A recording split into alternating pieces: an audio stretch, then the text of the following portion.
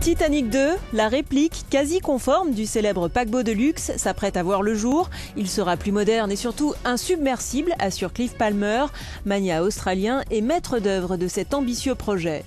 La fabrication de Titanic 2 a été confiée à un chantier naval chinois.